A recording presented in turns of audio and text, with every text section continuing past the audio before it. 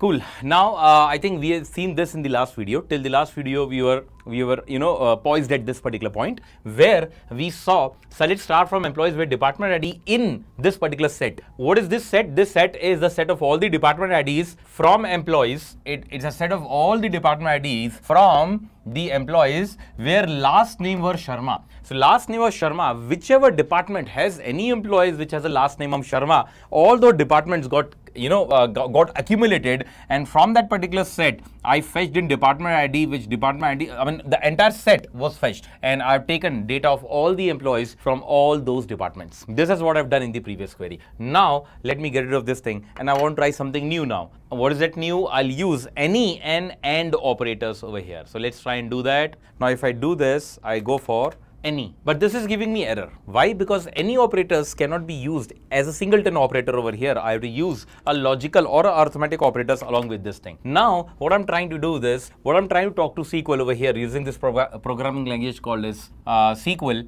is that I'm telling my database, I'm telling my SQL to talk to database that select star from employees, select all the data from the employees table where department ID is less than any one of these departments where department ID is less than any one of the list of the department IDs over here. Let me get the list of the department ID. Let me select this subquery and run it separately. If I run this separately, and see which are, the, these are the departments we're talking about. I'll just write it somewhere. And I think I'll use the same shortcut which I just realized a moment ago. It's not working now, no worries. I'll go and go for this one. So the departments we're talking about uh, are 50, 70, 99, 22, 70, 99, 22, 45 and 30. 45 and right i'll just keep it over here i'll take this here right and now if i look at it and if i remove this particular subquery because i don't run to or rather I don't intend to run it separately. Now if I run this and control enter,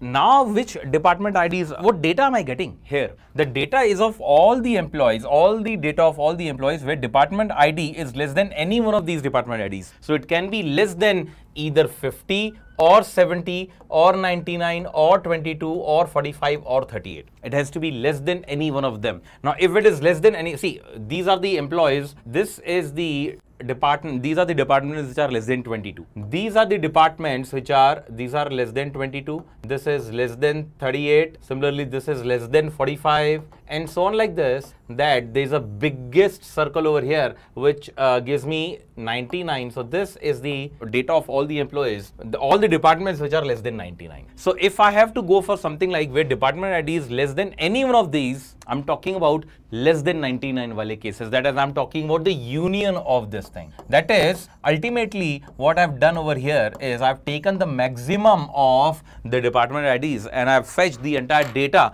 of the departments which are less than maximum of this thing because I've asked them to be less than any one of these departments. Any is actually saying that any one of these departments, give me the department ID which is less than any one of this and any will include the highest as well. So it is less than 99. So it has given me all the departments which are actually less than 99. Okay, if we confirm this, we can see that this is the case over here. See, all the departments which were greater than 99 are gone. Even 99 is not there. There is one department as 91. All the departments, if I can just order it, I'll just use this one, right? I'll just order this department. We have seen this, right, guys? Remember this? Order by department ID, and I'll go for descending. If I run this, I can see that the, don't be alarmed, that is manager ID that you're seeing. These are the department IDs over here. Can you just see? 91, 89, 88, no department above 99 is being selected because as explained, it has taken any one of these departments and any would mean literally any. So it has to be less than the maximum of the departments over there.